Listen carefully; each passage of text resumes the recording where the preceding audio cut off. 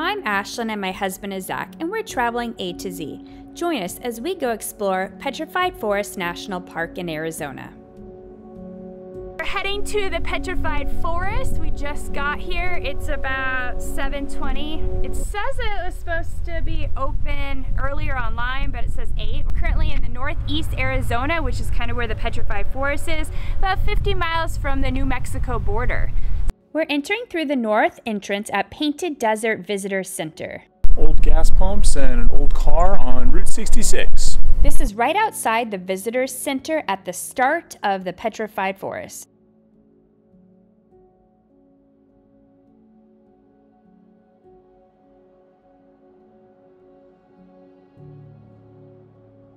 Currently we're at Tawa Point and behind me you could see the Painted Mountains.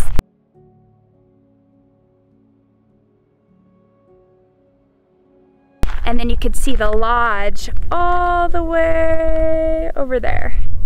They used to use the lodge as like a place where people stay, but now it's a museum and they don't have anyone staying there. In 1987, it became a national monument. So there was a volcano over there someplace, and when it erupted, it deposited basalt along the surface here. So if you look over on this side, you see black basalt like a couple of feet thick along the top of the canyon and where the basalt has been worn away, the softer red rock underneath has been eroded, and that's where the canyon came from. They're finding fossils from the Triassic period, which is the earliest dinosaur time, uh, about 200 million years ago. And they're down there in the desert someplace, and I guess they're still finding them. So that's kind of cool. We're currently at Pintado Point and it has a nice overview. So over here in the distance, you could see the San Francisco, well, no, you can't see the San Francisco peaks because there's smog and I think there's like a forest fire. But you can imagine peaks in the distance. And then right over here, in, you see kind of this pilot rock, which is the big rock in the center. And then there's little pinnacles sticking up. And then all the way over here, you could see where there was a lithodendron roche, which you could see was probably like a little river. You could see the flat point right in there. Um, and then in the way distance over there, the Chinde Mesa, which you could see also. It's a pretty good view. It's pretty dry right now, but apparently there's a pond around here that you could hike to. We're not gonna hike to it, but it's amazing there's even water here. It's it just, it's hot and dry.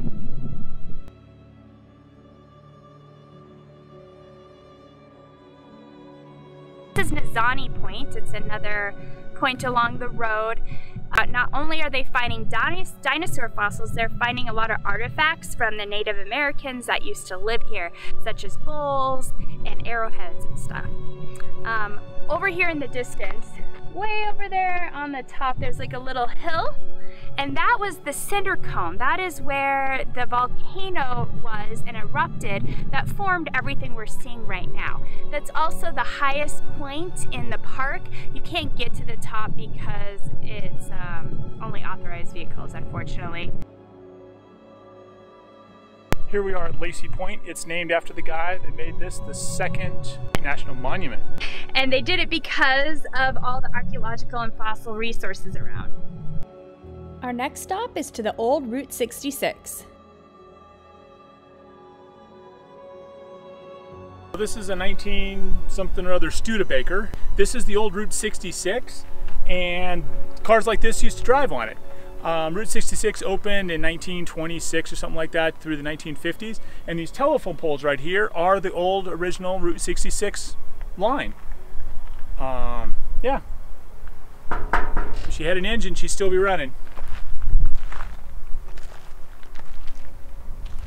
This is also the only national park where a road went through, a major road, in the whole United States. And if you look, you can see where the new road has been formed on the other side of the telephone poles, so they no longer use this. Here we are at Puerco Pueblo. We're going for a walk. It's a 0.3 mile walk to the Pueblo and Petroglyphs around here. So this is what they thought the Pueblo looked like. They're thinking it's a square building with a center in the middle. Here's some of the old pueblos. So this is part of the walls and the small rooms of the, uh, the Pueblo. You can see some of the old petroglyphs. That's a migration symbol, which is kind of the zigzag Kachina symbol. So there's some more petroglyphs with humans and a bird eating a frog. Maybe a turtle, I don't know what that is. You could see in this little tiny picture, so this rock is a marker for the summer solstice. And so it's set up where the sun hits through these cracks and it'll hit this other rock during the two times a year where the solstice occurs. So that's pretty neat. And you could see on that rock, there's like a little foot and handprint. Um, but that is the summer solstice rock. This is a kiva. Uh, we were just in Mesa Verde and all the kivas there are round. This one has kind of a square outline, which is kind of different. So we're at Newspaper Rock. There's over 650 petroglyphs on this rock here.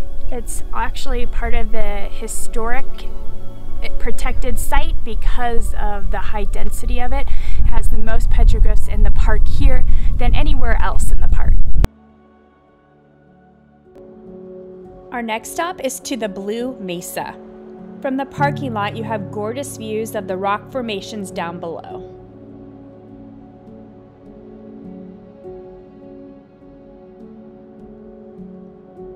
On top of the mountain, you can see a petrified log, and down below, you can see pieces of the petrified log. So we're going for a hike on the Blue Mesa. The hike is a one mile loop that gains 114 feet elevation. So all around us you could see where the volcanic ash was formed, all the white and the blue colored. You could see the cracks in it that look like elephant skin because as it rains it expands and as it dries it constricts and then it forms these little fissures and cracks all along the mountains that you're seeing. Still hiking on the Blue Mesa. We've actually dropped off the Blue Mesa a little bit. And there's some petrified wood over there. There's pieces of petrified wood all over the park as you walk. Our next stop is Agate Bridge. Agate Bridge. A tree fell down and then fossilized, and then the ground started to erode underneath it, forming this bridge. We're now visiting Jasper Forest, which has some of the largest accumulation of petrified wood in the world. This is one of the major stops in the 1900s by the railroad so people could visit this location. Just made it to Crystal Forest. We're gonna do the loop. It's about a 0.8 mile loop. It's supposed to be fairly flat and it's supposed to take us through the Badlands and lots of different areas with petrified wood.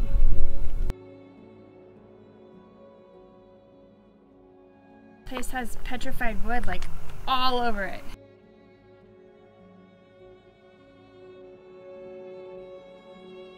Pretty cool.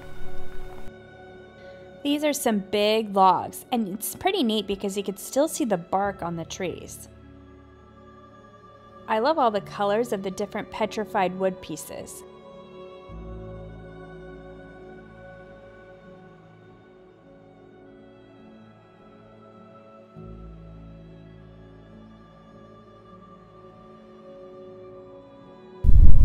I think this used to be a redwood. Look how big this thing is.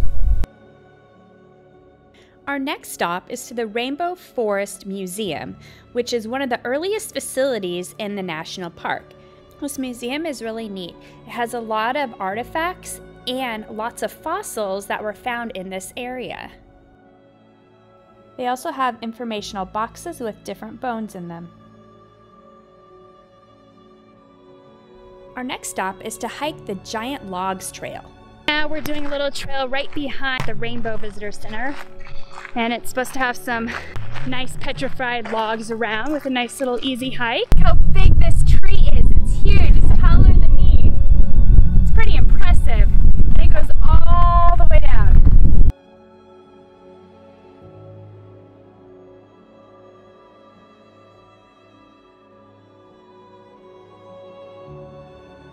This is our last hike in Petrified Forest and we're doing the Long Logs and Agate House.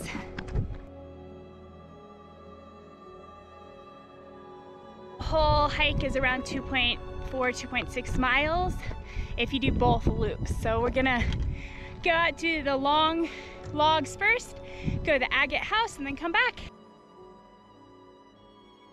So this is an old remnant agate house. So a house made out of petrified wood. Pretty crazy. So instead of using bricks or adobe or anything like that, they actually use the wood from the petrified wood, which is really hard. And you can see a lot of it's still standing today. So the house was thought to be built between 10,050 and 1300. It's a long time ago. It's amazing it's still looking as good as it does. And it was a lot bigger, you can see in the picture here. It had about eight different rooms and an entry. It was the largest structure of its time. Heading to Long Logs Trail. It's supposed to loop back around. This is a pretty good trail though. You just have all this wood beside you, petrified wood everywhere.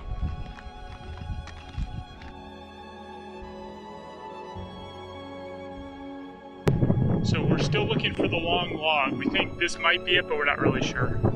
There's a lot of long logs out here.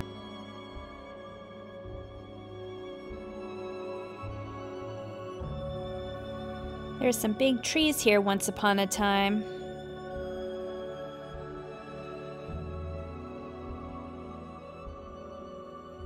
We're just leaving Petrified Forest, and it took us about five hours to go through the whole park, doing all the stops and all the hikes that are recommended on the trail map.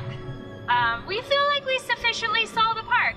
I thought it was a cool park, but I really kind of like the deserts, and I think the petrified forest and trees were really cool. I thought the petrified forest and trees were really cool. They had a really neat dinosaur exhibit in there. Um, I'm not that excited about deserts, so I could do without the desert part, but the petrified wood was pretty cool. I hope you enjoyed exploring Petrified Forest National Park with us. Please subscribe below to follow more of our adventures.